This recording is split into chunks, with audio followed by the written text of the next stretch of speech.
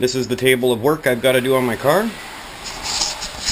So I will get to that. Um, basically, to do these, you need to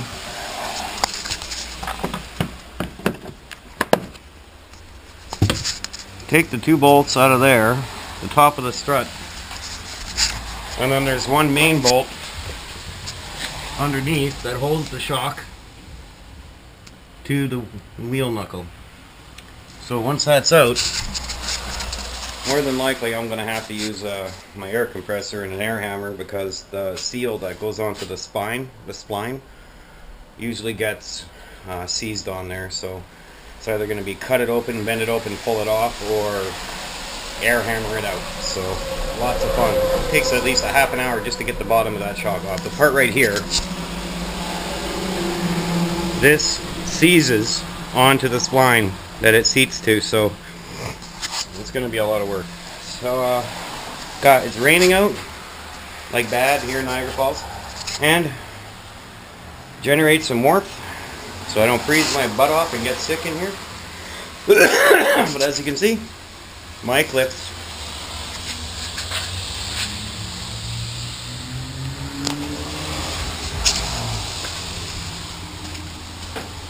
real carbon fiber hood and all that. So, um, I'm going to start making this video. I got to get prepped, but I'm not going to do what all the other mechanics do to show you how to fix something. I'm not going to waste half an hour, hour, two hours of your time watching every little nut and turn and twist that I have to do to get this done. Bit by bit, I'm going to get there, and I'm going to show you what to do. Most people don't own something like this, but I went out and bought one. Just specifically to be able to, because I work out of my garage to do labor-only mechanics for people around the Niagara region. So I bought myself a strut compressor, heavy duty, so that I could do trucks to cars to anything. So then that way I'm, it's available. People are, can get the work done for half the cost at a shop through me. So that's my big, you know, sales pitch is I am a licensed mechanic. I just, so here's the update. We're going to have to use the air hammer. Got the bolts undone up top. As you can see, both are undone. Sitting in the back. now I have gotten the nut off of this one. It's actually easier than I thought to get this shock out of here, which is totally destroyed. Now, the issue is, is it's seized on right there. So I'm gonna have to use the air hammer, hit it here and here to get it to push off. It's seized onto the spine, so that's my next step. And when I get that out, I'm gonna show you the reconstruction of the strut on my uh, strut compressor. Okay, so I used my angle cutter because it was seized on there. This is the piece that will seize on there because of the spline. It gets rusty. You got to clean it up, put some anti-seize in there, and that will prevent it from doing that.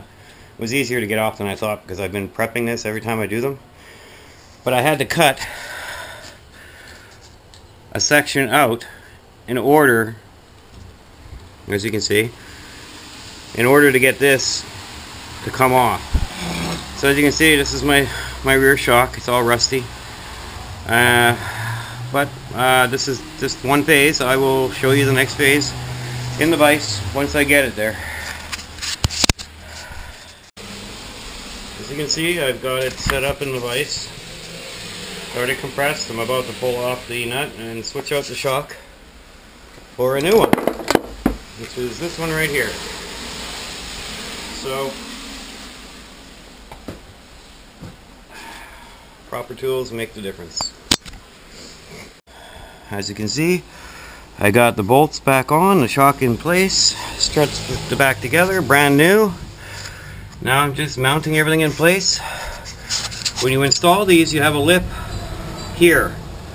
A lot of people make the mistake of putting that lip on the back side. You need the flat side so that your mounting bolt, this, can sit flush up against it and lock it in place with the lock washer.